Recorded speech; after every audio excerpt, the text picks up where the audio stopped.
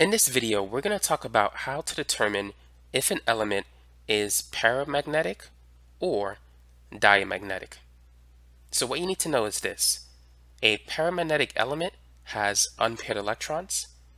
A diamagnetic element does not have any unpaired electrons. So in order to determine this, we need to write the electron configuration for argon. The atomic number of argon is 18. So a neutral atom of argon has 18 protons and 18 electrons. So let's write the electron configuration.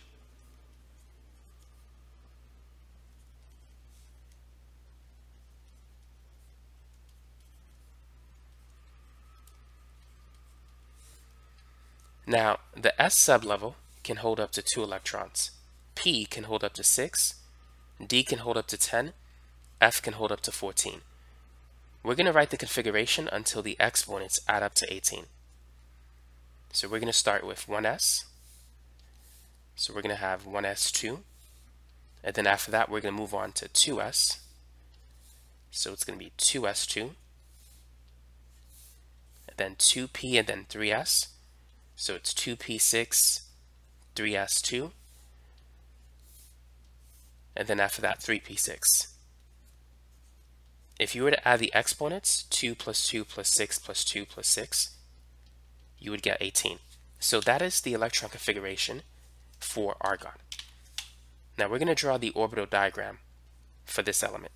So we have the 1s orbital, the 2s orbital, and then the 2p sublevel, and then the 3s sublevel, and then 3p. Now notice that each of these orbitals, they're completely filled with electrons.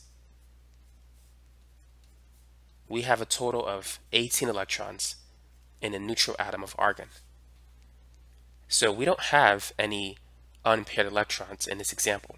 Therefore, this substance is diamagnetic.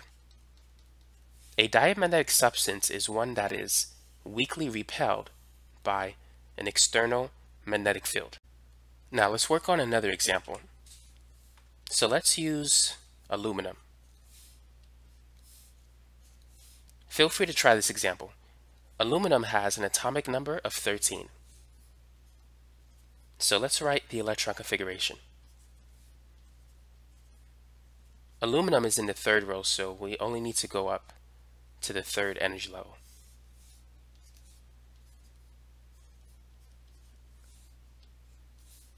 So we're going to start with 1s. And then after that, it's going to be 2s.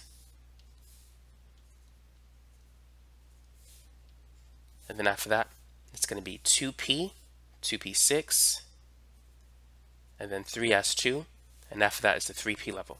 But we're going to stop at 3p1 because if we add the exponents, this is going to give us 13 which is the number of electrons in a neutral atom of aluminum.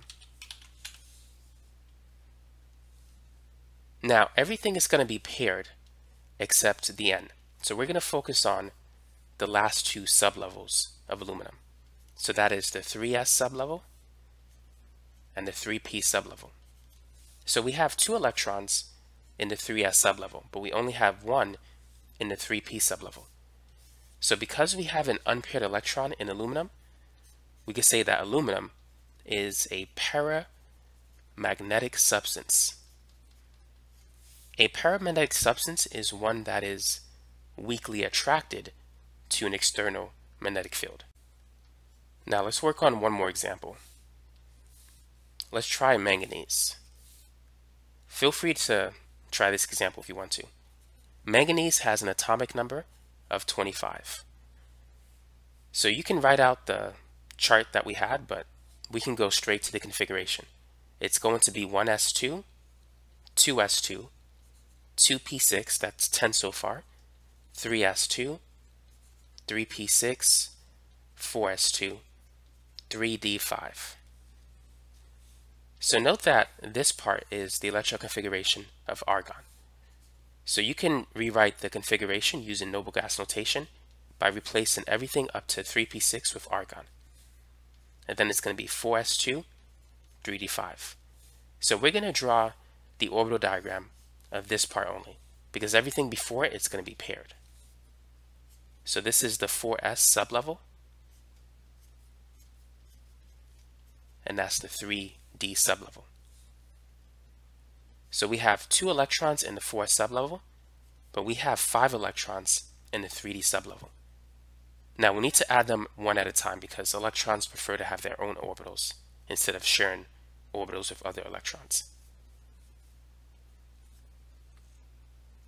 So notice that we have five unpaired electrons in this example.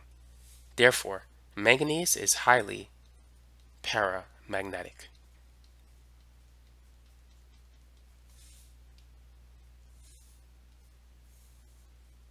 So that's it for this video. Now you know how to determine if a substance is paramagnetic or diamagnetic. An element is going to be paramagnetic if it has unpaired electrons. It's diamagnetic if it has only paired electrons.